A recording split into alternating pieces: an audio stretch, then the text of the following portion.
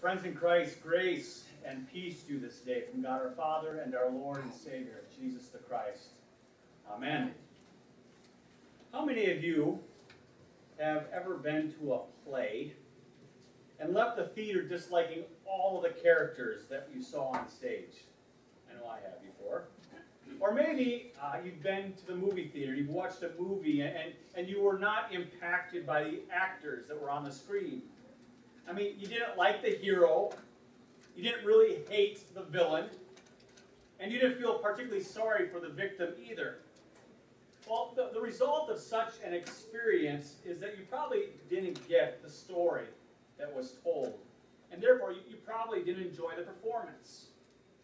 Well, you know, the parable that Jesus tells in today's gospel lesson is just like that. I mean, look at all the characters that we meet in this gospel text. First, there's the rich man, right? The landowner, probably an absent landlord who charges his tenants enormous rent to grow crops on his land.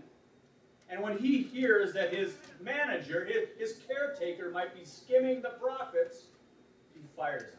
Right? No investigation, no discussion, no time for explanation. He fires him on the spot because of rumors that he's been hearing. Well, then, consider the manager, right? The caretaker. When faced with the prospect of unemployment, he decides that he can't get a real job, and he's too proud, it says in Scripture, to beg. So what does he do? He helps the renters, the debtors, forge payment receipts on their bills, thinking that the renters will be so appreciative that they'll be kind to him in a month or so when he's out of a job. Well, the truth of the matter is that he blackmailed them, right? Blackmailed them into taking care of him. And what about these people who owe the landlord money, the debtors? Aren't they every bit as guilty as the caretaker, the manager himself? I mean, did they lie? Did they cheat and steal from the landowner by forging their bill? Yeah, they did. Well, returning to that rich man, the landowner, it says in Scripture that he is actually impressed by the brilliant scheme that the caretaker employs. I wish I would have thought of that, is his response. This should tell you what kind of unethical character the landowner has been all along. And so that's the story that Jesus tells us in this parable today. And so let me ask you, who do you like in this story? Which characters do you cheer for? Which victims do you feel sorry for? Which villain do you love to hate? I mean, looking at this gospel text, they're all rascals, aren't they? And none of them seem to have a redeeming quality or a hint of integrity inside of them. and here's the hard part Jesus seems to say that we should emulate the shrewd, though dishonest manager for the way that he fleeced his former boss. I mean, right there in verse 9 it says, Make friends for yourself by means of dishonest wealth, so that when it's gone, they may welcome you into eternal homes. what in the world are you trying to tell us, Jesus? It's a stumper, isn't it? Well, friends, you need to know that this parable has baffled Bible scholars, uh, Bible scholars for generation upon generation. And many have called it the most puzzling story that Jesus ever told. And here, I get to preach on my very first Sunday here at Our Savior's this parable that Jesus tells. Wow. Welcome to Our Savior's, Pastor Tim. Well, interpretations of this passage from Luke's Gospel have ranged from, well, maybe what it's trying to say is that people of the world are wiser than people of God. Or, or maybe it's trying to say use money in any way that will have long-term effects. I mean, one theologian even suggests that money may be the hero of this story. That money can be a god, or money can be a servant, and because the caretaker, the manager, used money as a means, a means to the end, to an end, so should we. Well, because there's no right or wrong interpretation of this odd story that Jesus tells us, it seems to me that the preacher has a blank canvas, a blank page to write his sermon, which I did. You know, maybe you could preach something about corruption, because there's certainly corruption in this gospel story, this parable. And you could maybe preach something about materialism, or something about money, but I'm not going to preach money on my very first Sunday, right? Now, today, I want to use this difficult parable in order to say something about uncertainty. Uncertainty. I mean, the time is right for a sermon about uncertainty, right? And why? Because we are in an uncertain world. Think about it the upcoming presidential election, racism, racial tension in our world, terrorism, ISIS, tension between Russia and the United States, China, North Korea. I mean, the list goes on and on and on. Uncertainty is a word that best describes our circumstances these days. And uncertainty is what we have in common with the manager in the story that Jesus told. I mean, his story, his, story was he wasn't rocked by a terrorist attack or he wasn't shaken by some economic slowdown. In fact, his circumstances could very well have been a result of his own doing. But friends, he too was filled with fear because of a future that was unknown. And so the caretaker considers his three alternatives. I mean, Scripture tells us that he's too weak to dig. He rules that out as a possibility. Maybe, maybe he's an older person and, and his working days are long in the past. Or, or perhaps he has a medical condition that he will not let him work.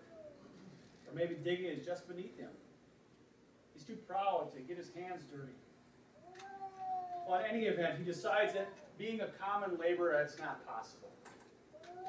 Secondly, we see in Scripture that he's not willing to beg because that would be too humiliating. He's a proud man, and proud men don't ask for help.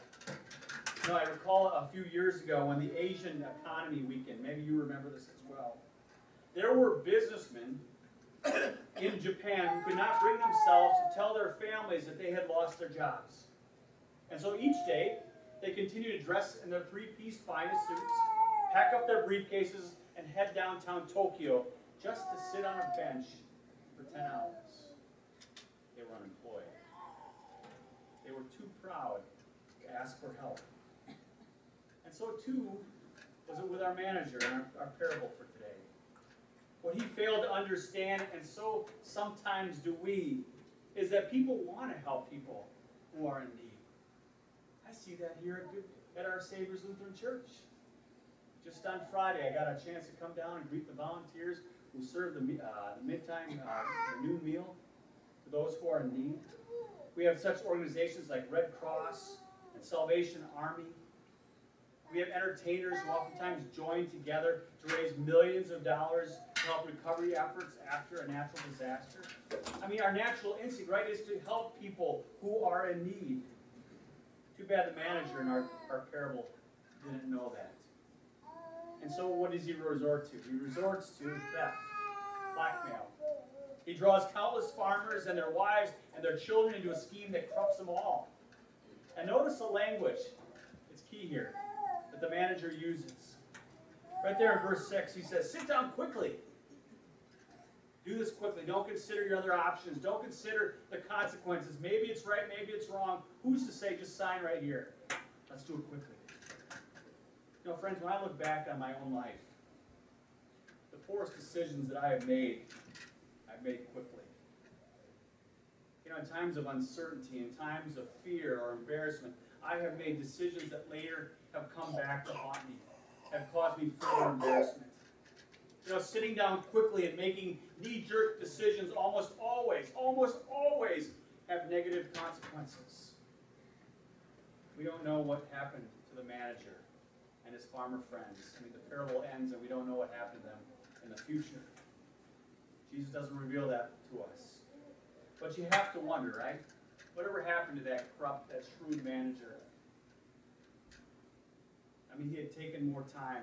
Just think, what if he would have taken more time? Could he have come up with a better solution?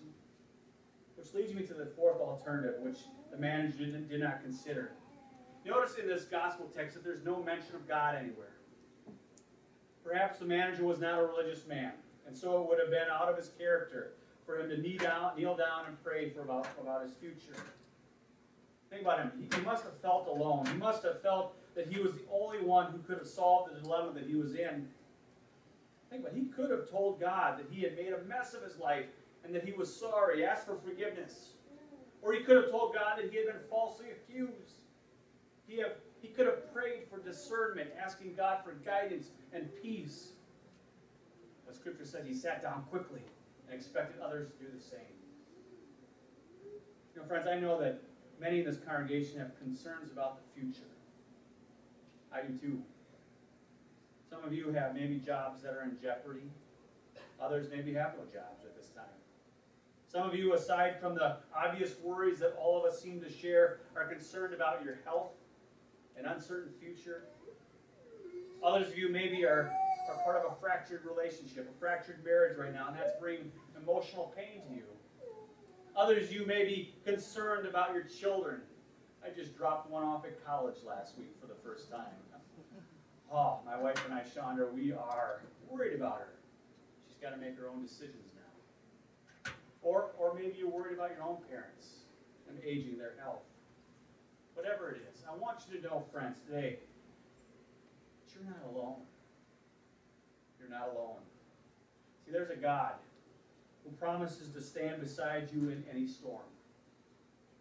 And secondly, your circumstance is nothing, is, is not something that you have to resolve by yourself. I don't know where we got this in our world that we have to resolve all of our own issues. We have to deal with them by ourselves. No, we have a God who is anxiously waiting to hear your voice, to calm your fear. I know for some that this is very hard. You've been distant from God for a long time, you've maybe forgotten how to pray. Please know that God longs, especially to hear your voice. You are a child of God. And finally, friends, this is the time to be the church. This is time to be our Savior's Lutheran Church.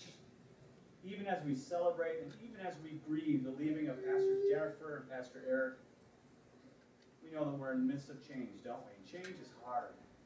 But remember that we are in this together. We're in this together. You know, I'm reminded of the story of the weathered old sea captain who was once asked if he knew the meaning of the word fellowship. Fellowship, he said. Well, that's when all the fellows are in the same ship. and so are we. We are in the same ship. We are cruising now through uncharted waters, but we're not alone.